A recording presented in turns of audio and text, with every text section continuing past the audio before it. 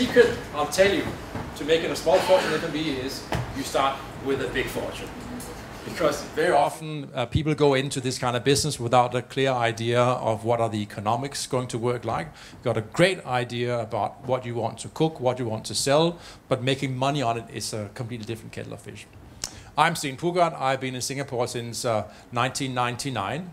One of my favorite dishes, apart from fried chicken, is laksa, as you maybe see on my shirt. I can never eat laksa without spilling on my shirt, and I had laksa for lunch today. Um, I'm going to talk to you about my journey with Four Fingers, but we're going to start with when I came to Singapore in 1999. Uh, McDonald's sent me down to be the regional marketing director. McDonald's, as you may know, is quite a big brand worldwide, and my entire career has been working with brands, starting with Disney back in the in the 90s, then McDonald's, and later on Burger King. I moved to Les Amis, which some of you may know is a Michelin star restaurant group in Singapore. I later then joined Baskin Robbins Coffee Bean Tea Leaf, came back to Singapore from Jakarta to launch Costa Coffee, and then I got uh, connected with Four Fingers. So my entire career has been about brands and, and, how brands thrive, how they live, and how they die. So that's what I want to weave a story to you about. Now, my story with Four Fingers kind of starts here.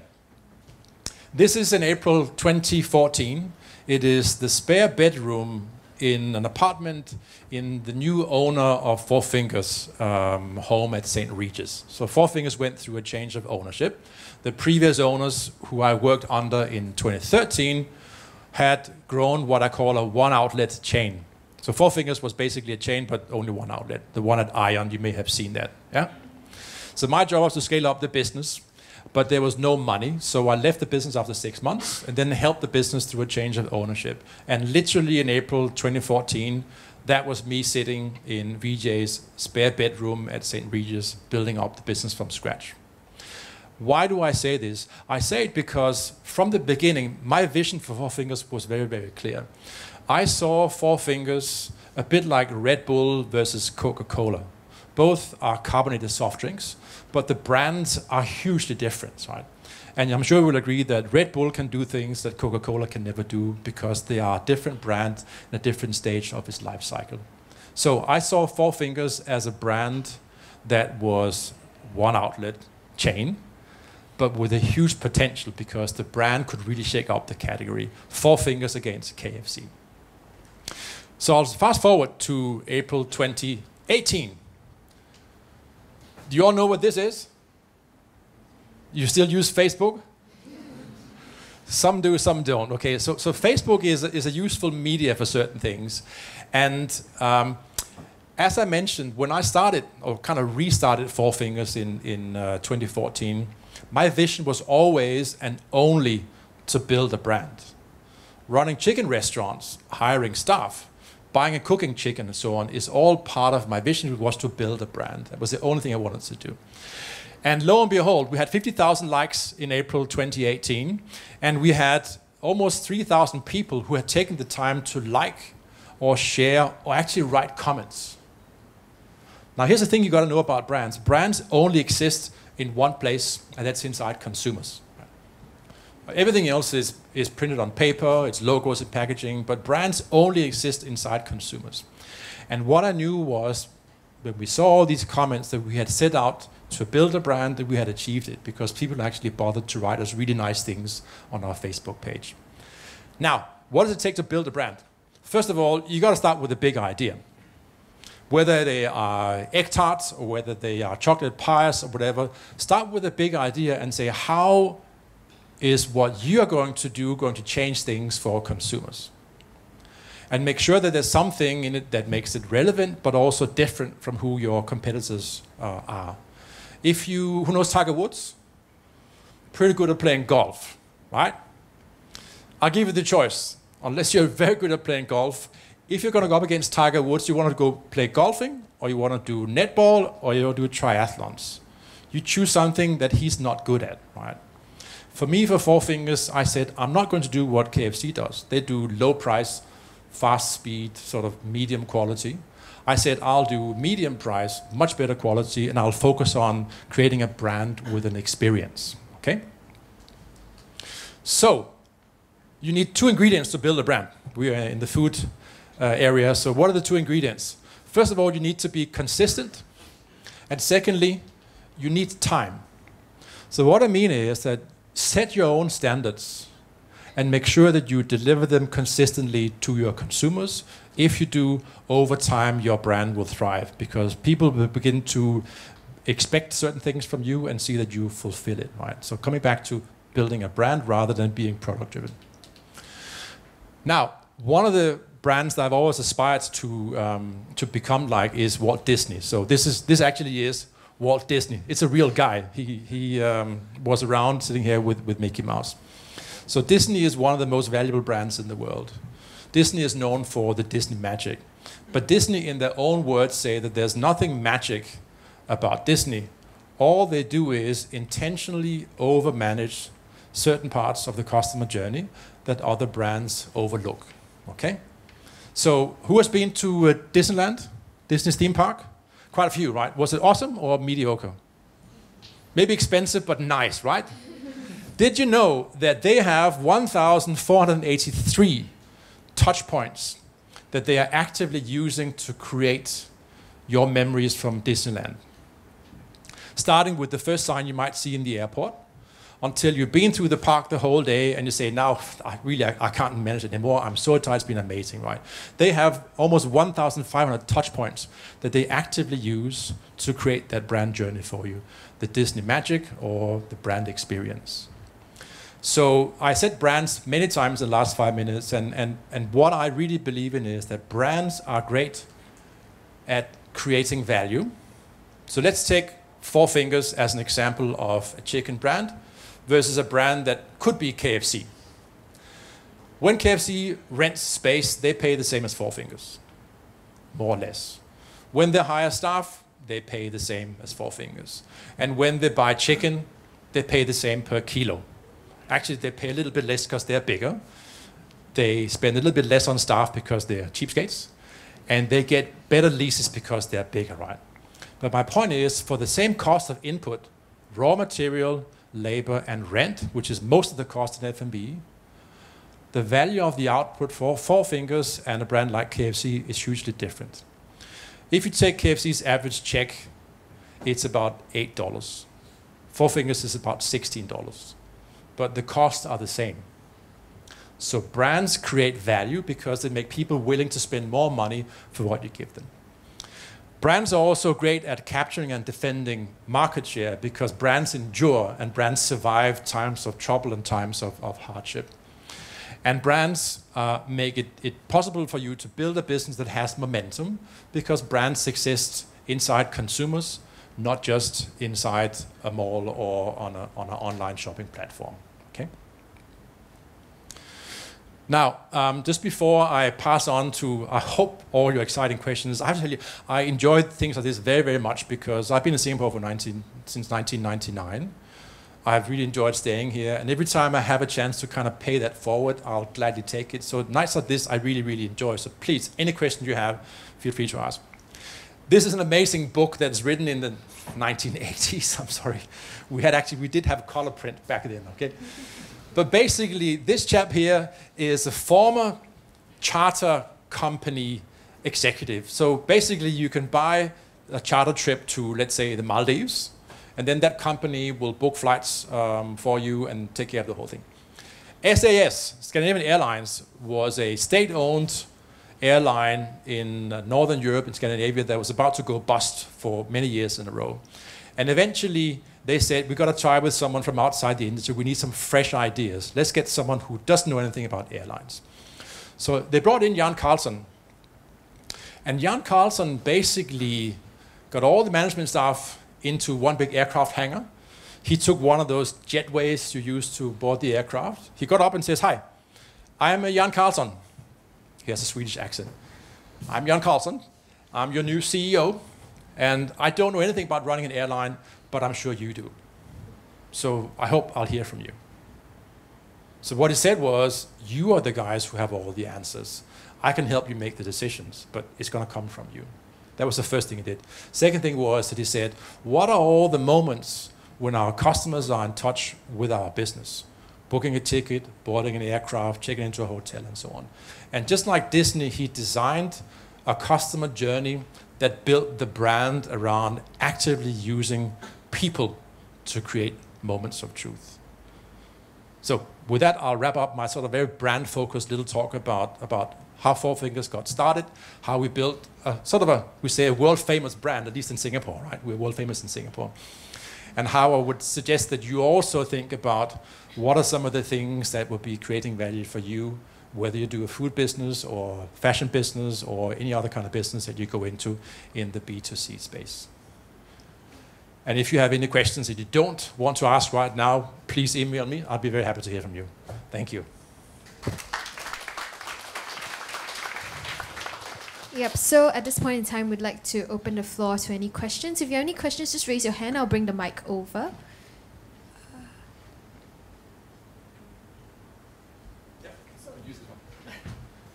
Um, you started with one outlet for Four Fingers. So, in your opinion, does it worthwhile to buy franchise to get into a food business?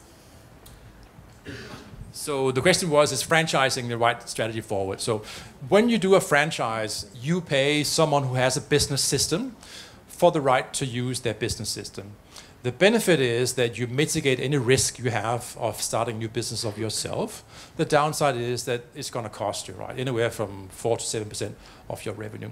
So I would answer by saying, how risk averse are you? Because if you want a safe bet, it's probably better to take a franchise because it's a proven and tried system.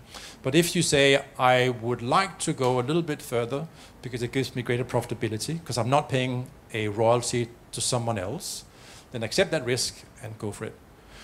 I think the fundamental question in Singapore today is how saturated is the market with outlets in general, whether they are franchise or, or own stores. Because what you always want is a balance between demand and supply. And Singapore, I have to caution you, Singapore has a steady growth in number of outlets. Right now, about 6,700 outlets in Singapore. And there's a structural oversupply of eateries. So there's a, there's a thinning of the demand for eateries versus Hong Kong and South Korea and so on.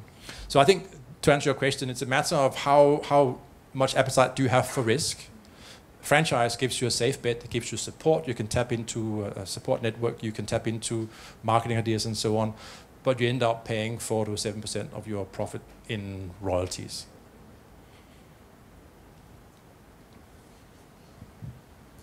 My name is Elizabeth Su. I'm teaching here as an adjunct faculty. Um, what is the value of the brand Four Fingers for you? And the second question is what was the most painful challenge you faced when growing Four Fingers? And how did you respond? to that. okay, so what is the value of the brand? So, so basically, the, a way to assess the value of a brand is to say, if all Four Finger stores burn down tomorrow, and all that I have left as a shareholder in the business is the right to the brand, how much money can I borrow in the bank? All right, so they will say, all right, it's 10 million, whatever it is. I, I, I don't know. But what I can say is that as you grow a business, if you grow the brand, brands are scalable in a way that restaurants aren't. Because restaurants is matter of securing a lease, building a store, finding raw materials, hiring staff, where brands are infinitely scalable, which is, again, brands create value. Um, so absolute value of the business, I, I, can't tell you, but I, I, think for a brand like that, which is very consumer driven, which is all about brand experience, um, I think it's quite high. But of course, I'm biased. Now, second question was uh, difficult times. So my story with Four Fingers is actually extremely long, and it involves four police reports. It involves um, receiverships. It involves court hearings. It involves mediation and many other things that I went through because I was decided not to take no for an answer. So here's what happened. February 2013, I was hired by the previous owners. They turned out to be dishonest. Um, in order to raise funding for the business, they even asked me for a loan that they wanted to use to repay someone else. Right? I go, hang on a second, this is not quite right. Eventually, I actually got fired because they wanted me to sign documents that are considered to be a breach of my what is called fiduciary duties. So if you are director of a company, you have a duty to the law of the country to make sure the, com the company is run well. This wasn't. So they got rid of me. And the next day, the company went into receivership because a secured creditor said, they're trying to screw me too, so I'll follow the way of the law. And then followed around two years of uncertainty, of working without getting paid, working purely on oxygen and water, um, of I said receiverships, court processes, all these different things. Many of my friends, I'm going to make this a little bit personal. Many of my friends says, "How did you possibly withstand the pressures? Right, you have a family, you have things to take care of, all this you went through." And I said, for me, it was a moment when I decided that it was a great business with some great people, but it was in the wrong ownership. So I said, I will be the one who tries to help the business through this change of ownership so we can grow it. Now, as an entrepreneur, I shared with, um, with the gentleman here that as an entrepreneur, you need to be a little bit of a masochist because you will be facing a lot of adversity and a lot of rejection and a lot of failures and so on. You have to find motivation in that. And if you do, you can overcome things that you normally wouldn't be able to do. So my advice maybe as entrepreneurs is to say, be prepared and actually enjoy it a little bit because whatever doesn't kill you makes you stronger. Yep. Hi, and thank you so much for sharing today. Um, my name is Stan. One question that I have if you would use one sentence, how would you define a brand? Um, when we were strategizing about what, what was the essence of the brand, um, we were looking in many different ways and many different angles and so on. So I believe that if a company can figure out why it does what it does, it has a different kind of strength than if you know what you do or how you do it, right? If you know the why you do what you do, then you have a sense of purpose and a sense of vision. So what happened was that we sat down and we said, and I was always very, I never liked vision and vision. I'm very sorry, but I, I, just find it very boring and no one cares, right? It's a nice poster in a boardroom, but doesn't make a difference. What I like about it is what I call the big idea. So if you look at Apple, their link between Apple as a company and consumers as human beings is their big idea. And we said, what's our big idea at Four Fingers? And how can we use that to drive our people, our experience, and our food? So we were searching high and low for like, this is important stuff, right? And what we saw was um, a hiring poster from 29 that said, join the resistance. So that's kind of a big idea. It means that there is a resistance. It doesn't mean that we are the resistance, but we are definitely part of it, right? So our internal rallying cry became join the resistance because we said that gives us a platform for, for disruption, for being a bit rebellious, for being a bit naughty, a bit subversive. That's kind of our big idea. And then we said, joining resistance is about disruption. Now, how do we then make that aspirational theme an operational theme? So how does it drive how we build our stores, who we hire, what kind of food we cook, and so on. So in a nutshell, join the resistance became our internal, our internal rallying cry. Who has aspirations to go into F&B? Good. No one. it, is an interesting business because um, it's great to have passion, but you have to wear different kind of lenses when you look at an idea and in a business, right? So if you uh, have ambitions to make the world's best, I don't know, chocolate tarts, right? That's a beautiful thing. But understanding the economics of producing chocolate tarts, where's your money going to be made from? Who are going to be your customers? What will be the cost structure you have, and so on? That's where if you don't know how to do it yourself, find a mentor. You find someone you can get advice from because you can't be good at everything. And as you begin to grow your business, you will need to find people who know skills that you don't know yourself because that's the way that you build a, a proper team. So, so think about wearing different lenses, different hats when you look at your idea and say, yeah, there is the passion needed to sort of do the world's best something, but there's also the economic realities of paying rent every single month, of hiring staff, or half staff that doesn't show up which happens often too. Uh, so be prepared for all those things that are the, the, the realities of running um, a food business. So, lady over here. Yeah. Hi, thank you for sharing. Um, just out of curiosity, what made you um, make, make the switch from like um, the different brands? Because like Disney to F&B is a very big uh, jump. So I'm just curious, like what made you make the switch? So so my switch from Disney actually happened by chance because uh, I worked for Disney. Uh, there was something called the Soviet Union back in the day, yeah. And when that collapsed, many consumer brands moved in, and I was working for a Disney publisher. So I moved to Prague. I lived there from 92 to 95, basically in what I call the Wild West when the countries were emerging from a planned economy to a market economy. Very interesting transition phase. So I got some experience in working with the unique problems of infrastructure, you know, getting honestly a phone call, right? We used to try to, to do the, the dial-up modems, 56 KB going, that was kind of to send an email, right? So I got experience in working in countries with kind of hardship infrastructures. So McDonald's was expanding into Eastern Europe also. And they said, we can train someone on the marketing skills, but we need someone who understands the idiosyncrasies of working in a, in a former communist country. So they hired me and gave me all the training. And that's kind of when I, when I saw that brands are kind of universally applicable. Consumer products, so Disney books, magazines, hamburgers, and, and so on.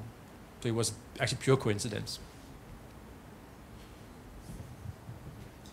Um, you are in, you were introduced as the ex CEO. So, what made you decide to leave Four Fingers, and where are you going from here? So, uh, so, so Four Fingers is owned uh, majority share by uh, a former M&A guy, and his plan was always to do what is called an aggregation. So, when you when you make money with companies as an investor, you either do what is called a pure play, which means there's one company, one business, or you aggregate companies to consolidate, to get cost saving, and so on. So um, the owner wanted to go out and buy other companies that I thought strategically would not add value to Four Fingers. Maybe some of you saw last week that Four Fingers has bought half of a Mexican chain in, in Australia, you saw the news, but that was in the news last week. And that was uh, one of the acts that I said strategically, I think is going to divert and distract attention from the Four Fingers business, which is a very good pure play. So I said, all right, he's the, the majority shareholder, so I'll let him have the keys and I'll move on. Um, I was looking into different things, and, and I was tapped on the shoulder by um, a chap who runs a private equity fund because he believes that my operational experience can be put to greater use now in terms of not just running companies, but actually looking at companies structurally and seeing whether you can improve them from the point of view of, of revenue and, and profits. So I'm taking a bit of a leap of faith going into private equity. I will still retain my entrepreneurial mindset because I, I think it, it's something that you're much more born with than a skill you actually acquire. I think it's a bit of a personality that you, at least if you don't have it, you kind of develop it over time. So I'm quite excited about that also. Who wants to be an entrepreneur? One. Why? Well, because uh, that's a very good question, actually. Because I believe that uh, being an entrepreneur, this is the only way how I can reach my full potential. That's all. Anyone else?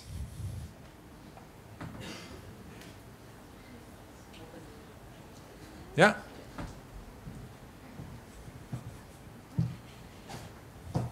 Any questions?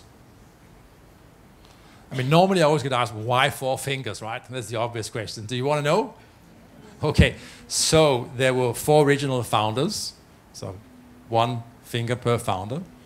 But they also said that the chicken foot has four fingers, and when you eat fried chicken, you use four fingers. So that's the story about that. Yeah. Steen. I'm uh, year one in social science um, at SMU. So I just have a question that I find um, the experiences that you have in more than 20 years of a career, um, there are many coincidental kinds of work experience that you had. But in all these work experiences that you had, um, I'm sure that uh, I'm, there are probably goals that you set for yourself, and probably until today you still have goals that you have not met. So how far are you in achieving the goals that you have set for yourself? Yeah.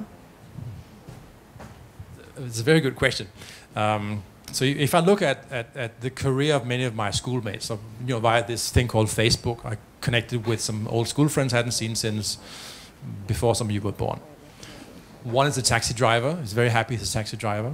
One is still a nurse, and, and they're all very happy with doing what they're doing. And they said, so what have you done since we saw you 35 years ago? Said, well, I kind of run a chicken chain. But the difference is that I, I was given probably the same choices as they were, but they chose the more homebound choice, where I had more of, let me see if I can get out of here and do something. So in 1992, I had my first job outside of Denmark. I moved from Copenhagen to Czechoslovakia. And from then on, I never looked back. And I was very hungry for, for adventure and for taking risks. So I, I suppose I quite like to go where there's a green field and nothing to be built up. I do that and I kind of hand the keys on.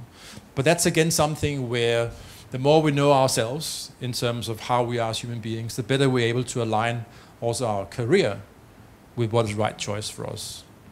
Kofu and I spoke uh, just before we started about sort of what does it take to be an entrepreneur. I, I actually think entrepreneurship is something you can learn, but being an entrepreneur is something that you kind of have.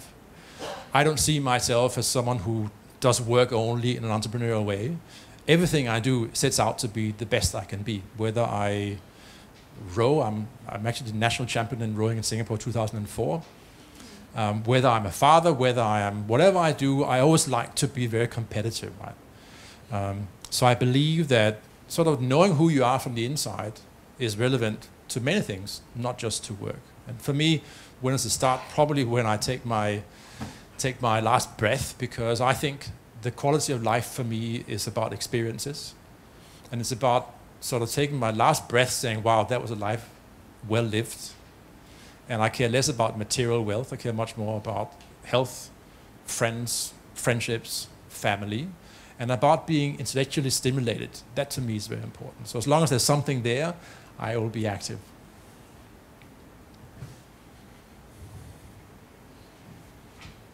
Yeah.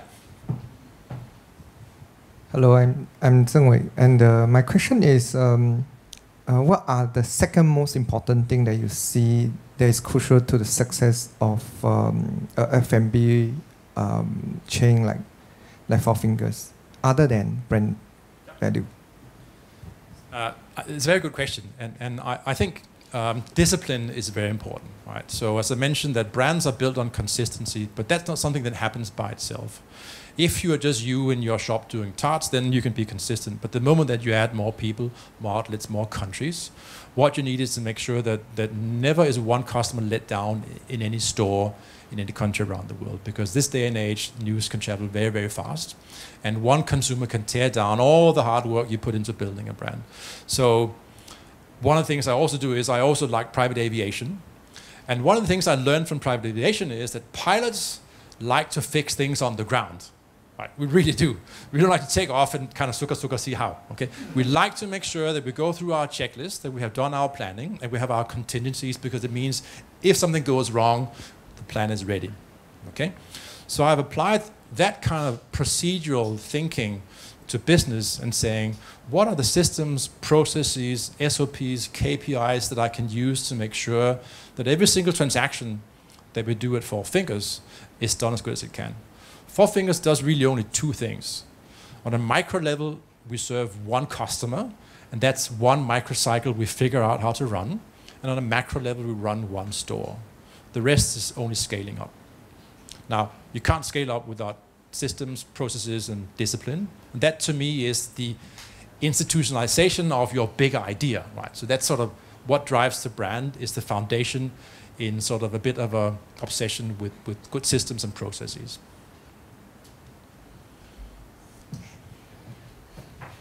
Um, as an entrepreneur, what kind of networks do you see critical to, you know, your business? What kind of networks should entrepreneurs get into, or you know, what have you got into? So network.